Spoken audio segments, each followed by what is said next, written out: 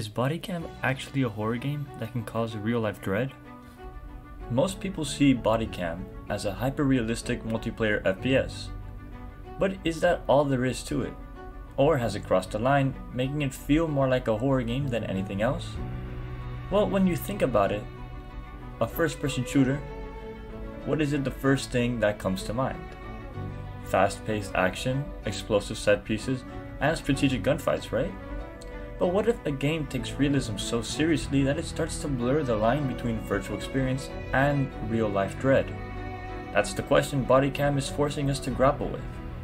From the moment Bodycam was announced, it was clear that this game was something different. The idea of stepping into the shoes of a SWAT officer, seeing the world through the grainy, often disorienting lens of a body camera was compelling.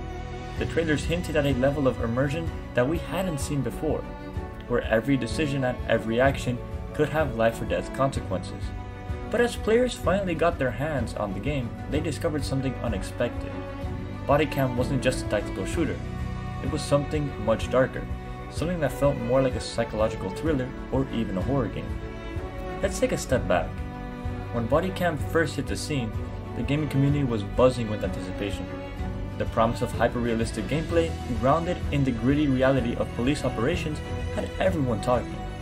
The developers had clearly put a lot of effort into creating an experience that was as authentic as possible, from the way the weapons handled to the unpredictable behavior of the AI enemies. But, as impressive as the game's technical achievements were, they also brought an unintended consequence an overwhelming sense of tension and fear. You see, realism in games isn't just about graphics or physics, it's about how a game makes you feel. And Bodycam, it makes you feel tense, on edge, like something is always lurking just out of sight. The game's atmosphere is suffocatingly intense, with every mission feeling like a descent into the unknown. Instead of the usual adrenaline rush you get from an FPS, Bodycam delivers a slow burn sense of dread that creeps up on you, making your heart race not from the action, but from the anticipation of what might happen next. But why does Bodycam feel so different from other shooters? Part of it lies in its approach to realism. Most FPS games, even the most realistic ones, still maintain a certain level of detachment. The action is fast and often exaggerated, designed to be thrilling rather than terrifying, but Bodycam strips all that away. The game's perspective, through the lens of a body camera, makes everything feel more intimate, more immediate. You're not just controlling a character, you're seeing the world through their eyes, and that makes every encounter, every firefight, feel personal. Then there's the sound design. Bodycam's audio is a masterclass in creating tension. The muffled thud of your footsteps, the distant echo of gunfire, the way every creak and groan in the environment sets your nerves on edge. It all combines to create an atmosphere that's genuinely unnerving.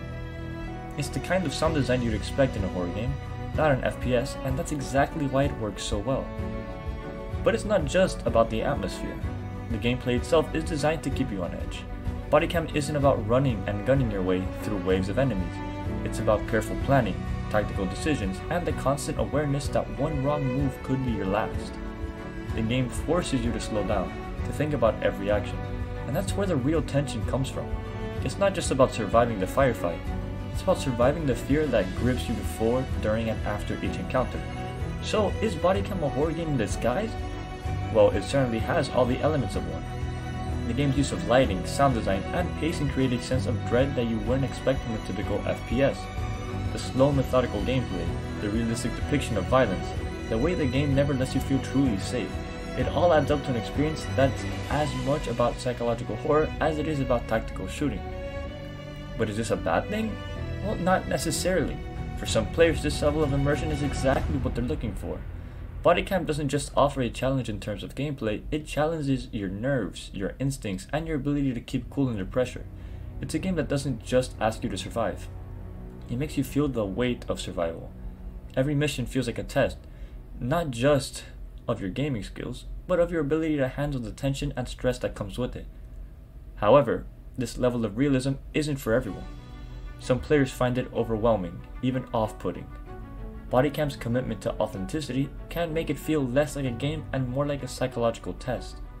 There's a fine line between realism that enhances gameplay and realism that becomes oppressive, and Bodycam walks that line with every mission. But let's be clear, Bodycam isn't just about fear. It's also a masterclass in design and innovation. The game's mechanics are finely tuned to create an experience that's both challenging and rewarding. Every decision you make has real consequences and every victory feels earned.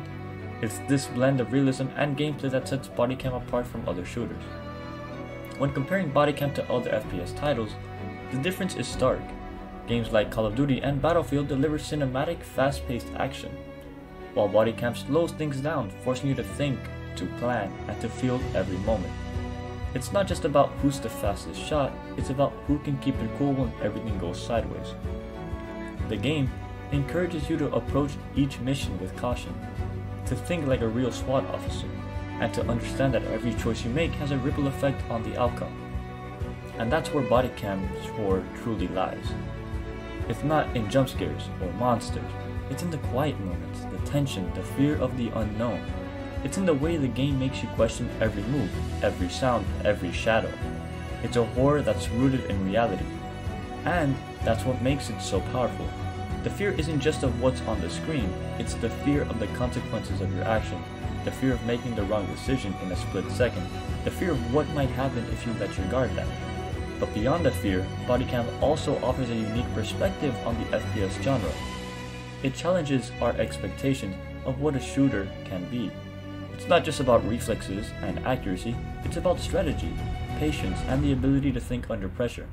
The game forces you to confront the realities of violence and the psychological toll it can take, both on your character and on you as a player.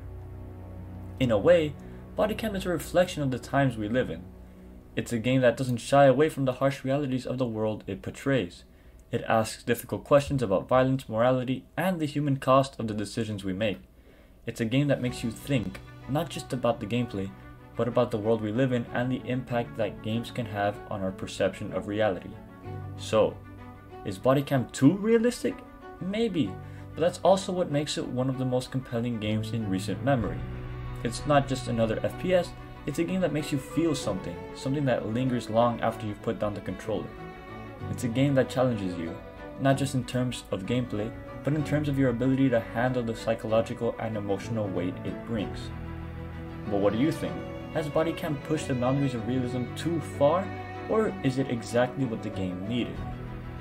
Let me know your thoughts in the comments below, and if you enjoyed this video, please check out any of my other content as I would greatly appreciate it. But that's it for